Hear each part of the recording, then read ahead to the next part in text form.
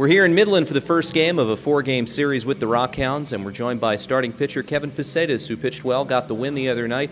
Uh, Kevin, you have been a decision machine this year. Every start you've made, you've been able to pick up the win or uh, been given the loss. Uh, you, you've only, I think, had one no decision this season. You're always right in the middle of it.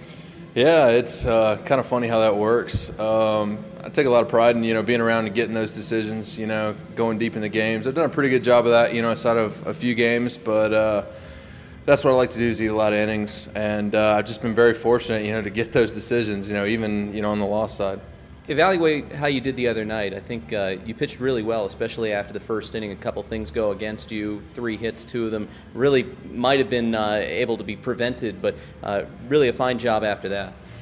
Well, you know, I did a good job of making pitches. Uh, I've been working hard with Jeff Andrews, you know, on the side uh, you know, just trying to tweak some little things, trying to get uh, some separation between my curveball and my slider a little bit more, and uh, that started, you know, kind of coming into play that last outing. Uh, did a good job making pitches when I had to when those guys got on base. You know, after a couple little flare jobs, you know, a couple dribbling ground balls here and there. You know, were tough plays. And uh, you know, the only thing I was really upset about the way I threw was uh, that homer that I gave up there in the sixth after us uh, taking the lead. You know, going up two to one there. You know, and and that kind of hurt a little bit. But I was able to rebound and get through the inning, and we wound up coming back and getting on top at the bottom of that inning. You've had now 10, 11 starts under your belt. How are you feeling physically at this point in the season? Because that can be a big part of it. Uh, I, I, feel like uh, my last couple of outings, uh, you know, that coming out of the pen for those rehab guys coming down, you know, Colby Lewis and uh, and uh, Gondo, you know, kind of helped me uh, get a little bit of a breather and get those legs back underneath me a little bit, and uh, I felt I felt really good, you know. And like I said earlier, that's what I take pride in is eating those innings and being a durable guy that can take that ball every fifth day, and and I'm feeling good. But uh, those couple days, you know, right around the All Star break, you know, and this nice long homestand we got leading into that will certainly help out with the with the legs and the arms and the back. it'll help physically, but also help mentally too. Uh, give you a couple of days away from it.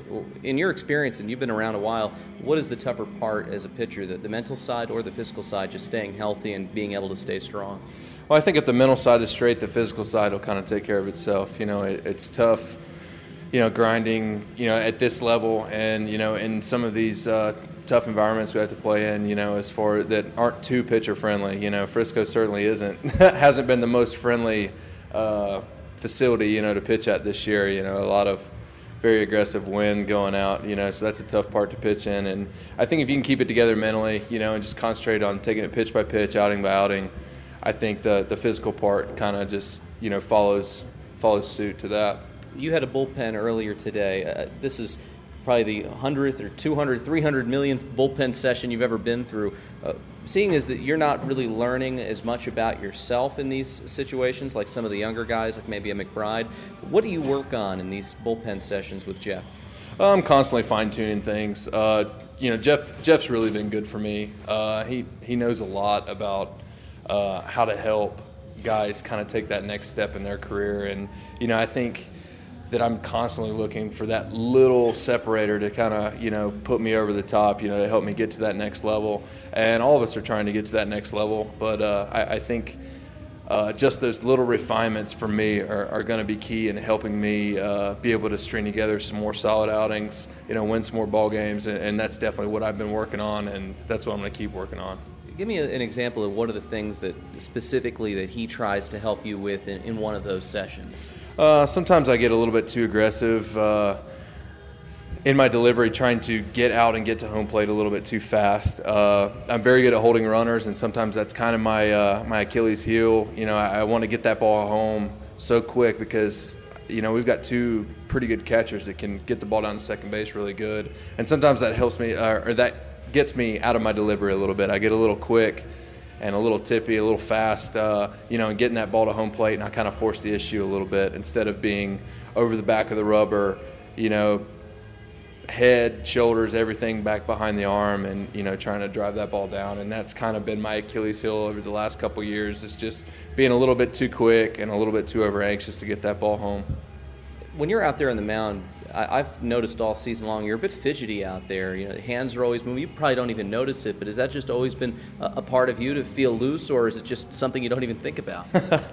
it's funny you say that. I've had a couple, you know, managers say that to me, and they think it's because you know my, my pace is pretty fast. You know, I, am a pretty quick worker, and I mean I've even had some some coaches be like, "Man, I don't know how you can throw a ball every five seconds." You know, but if there's anybody can do it, it's you know it's you. And and I if you ever notice me sitting down, I, my knee is always going, my hands always going. It's just I don't I don't know. I, I can't. I'm a heck of a coffee drinker. I'll tell you that. I don't know if that has anything to do with it, but uh, uh, it's interesting you say that. Probably part of the reason why, at least. Maybe. You're a uh, you're a big time hunter. You're showing me some pictures of your, your recent hunting escapades. Uh, has that always been something that you've done uh, growing up in South Carolina?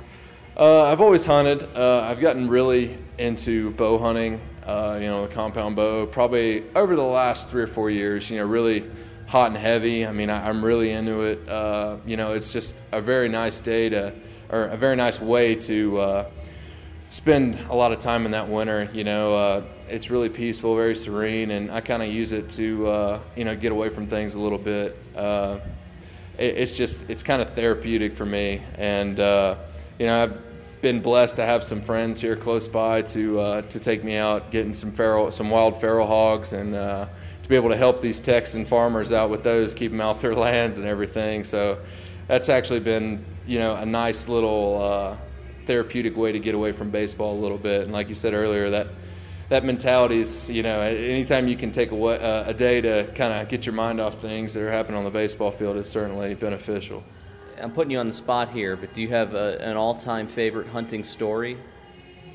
Uh, this past one I had on my uh, on my off days, I mean it's up there. You know, I, I killed a 300 pound feral hog. You know, which is was just about 10 pounds off the North Texas record. You know, which was which was really cool. And anytime you hunt a new animal, it's just uh, it's just a completely different kind of high and excitement. I mean, basically all I have in South Carolina is whitetail and uh, and turkey, and that's basically you know all I've done, and the occasional waterfowl, you know, but that really doesn't do it for me as much as uh, you know hunting stuff with a bow. But to take an animal of that size with a bow and arrow, you know, is certainly really special, and I can't wait to see that thing when I get it back from the taxidermist. It's definitely going on the wall, so that'll be a nice little uh, memento for me for uh, my time here in Texas. And the Texas farmers, yes, are, are very happy. Took that off their hands. Kevin, thanks so much for the time. Congratulations on the nice outing the other day, and we look forward to seeing many more here throughout the summer. Okay, appreciate it, Alex. Thank you. It's Kevin Pucetas. We're back after this on the Frisco RoughRiders Baseball Network.